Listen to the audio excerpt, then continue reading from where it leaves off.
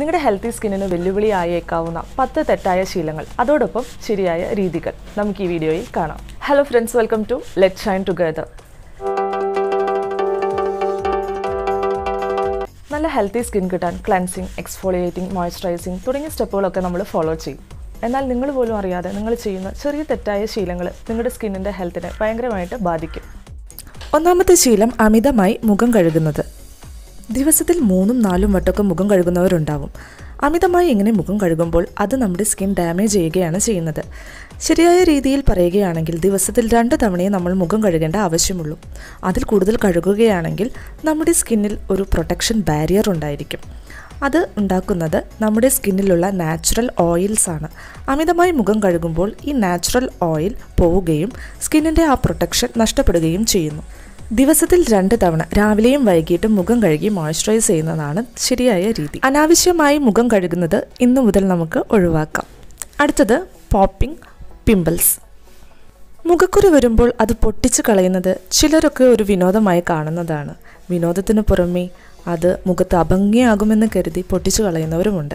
എന്നാൽ ഇതുപോലെ മുഖക്കുരു പൊട്ടിക്കുന്നത് നമ്മുടെ സ്കിന്നിന് വളരെ മോശമായി ബാധിക്കും മുഖക്കുരു വന്ന് നാച്ചുറൽ ഹീലിംഗ് പ്രോസസ്സ് വഴി അത് തന്നെ പോകുന്നതാണ് മുഖക്കുരുവിന്റെ പാടുകൾ വരാതിരിക്കുവാനും അത് പെരുകാതിരിക്കാനുമുള്ള ഏറ്റവും നല്ല മാർഗം. അതിനു വേണ്ടത് ക്ഷമയാണ്. മുഖക്കുരു പൊട്ടിച്ചു കളയുന്നത് വഴി അവിടെ പാടുകൾ വരുവാനും ഇൻഫെക്ഷൻ ഉണ്ടാവാനും കൂടുതൽ പരക്കുവാനുമുള്ള ചാൻസുകൾ കൂടുന്നു. ഈ ഒരു ശീലം നമുക്ക് ഒഴിവാക്കാം. അടുത്തൊരു ഹാബിറ്റ് എന്ന് പറയുന്നത് കോൺസ്റ്റന്റ്ലി ടച്ചിങ് യുവർ ഫേസ് നഖം കടിക്കുന്ന ശീലമുള്ള ചിലരെയൊക്കെ നിങ്ങൾ കണ്ടിട്ടുണ്ടാവും.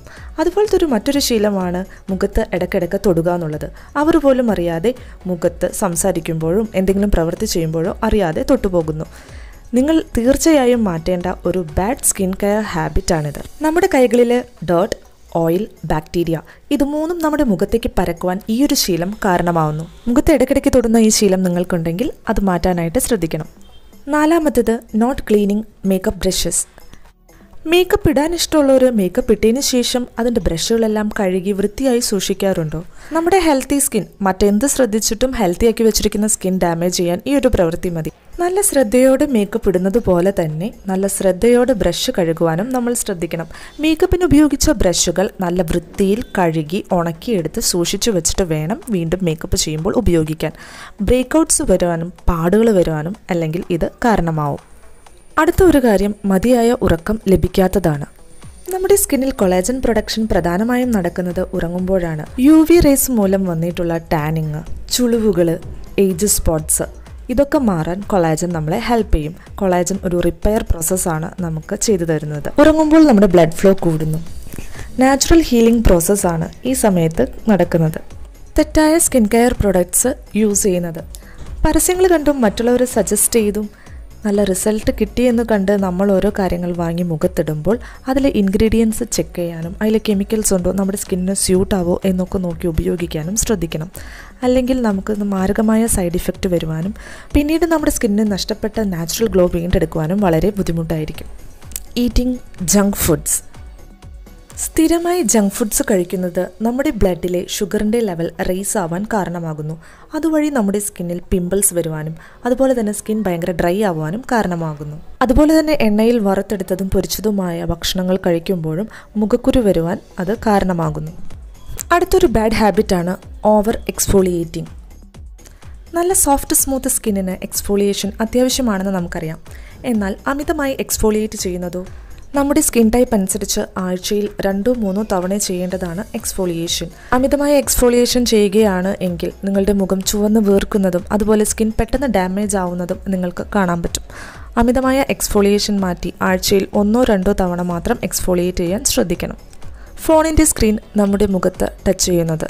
നമ്മൾ ഏതു നേരവും ഉപയോഗിക്കുന്ന മൊബൈൽ അതിന്റെ സ്ക്രീനിൽ എത്ര ബാക്ടീരിയാസ് ഉണ്ടാവുമെന്ന് നിങ്ങൾ ചിന്തിച്ചിട്ടുണ്ടോ? ഈ ബാക്ടീരിയാസ് നമ്മൾ മുഖത്തോട് ചേർത്ത് വെച്ച് സംസാരിക്കുമ്പോൾ നമ്മുടെ സ്കിന്നിലേക്ക് എളുപ്പത്തിൽ കയറുകയും ബ്രേക്കൗട്ട്സ് പിമ്പിൾസ് തുടങ്ങിയ പ്രശ്നങ്ങൾ ഉണ്ടാവുകയും ചെയ്യുന്നു. എപ്പോഴും ഫോണിൽ സംസാരിക്കുമ്പോൾ മുഖത്തോട് ചേർത്ത് വെക്കാതെ അകത്തിപ്പിടിച്ച് സംസാരിക്കുവാനും അല്ലെങ്കിൽ ഇയർഫോണോ മറ്റോ എന്തെങ്കിലും ഉപയോഗിച്ച് സംസാരിക്കുവാനും ശ്രദ്ധിക്കുക. നിങ്ങൾക്ക് സ്പീക്കറും ഇതിനു വേണ്ടി യൂസ് ചെയ്യാം. നമ്മുടെ last point overloading skin with products നമ്മുടെ എല്ലാവരുടെയും സ്കിൻ പലതരമാണ്. അതുപോലെ തന്നെ സ്കിന്നിന്റെ പ്രോബ്ലംസും ഓരോ പ്രോബ്ലത്തിനു വേണ്ടി ഓരോ പ്രൊഡക്റ്റ് ചൂസ് ചെയ്ത് ഇതെല്ലാം ഒരുമിച്ച് ലെയർ ബൈ ലെയർ ആയിട്ട് അപ്ലൈ ചെയ്യുന്നത് നമ്മുടെ സ്കിന്നിന് വളരെ ദോഷമാണ്. ചില പ്രൊഡക്ട്സിൽ ഉപയോഗിച്ചിരിക്കുന്ന കെമിക്കൽസ് മറ്റു ചില പ്രൊഡക്ട്സായിട്ട് കമ്പൈൻ ചെയ്ത് നമ്മുടെ സ്കിന്നിന് ഇറിറ്റേഷൻ അലർജി അതുപോലത്തെ പ്രോബ്ലംസ് ഉണ്ടാക്കുന്നു. ശരിയായ പ്രിസ്ക്രിപ്ഷനോ അഡ്വൈസോ ഇല്ലാതെ പലതരം ക്രീമുകൾ ഒരുമിച്ച് അപ്ലൈ ചെയ്യുന്നതും നമ്മുടെ സ്കിന്നിനെ ദോഷമായി ബാധിക്കുന്നു.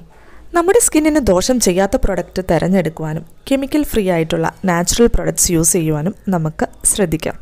ഈ വീഡിയോയിൽ കാണിച്ചിട്ടുള്ളതെല്ലാം കുഞ്ഞു കുഞ്ഞു കാര്യങ്ങളാണ്.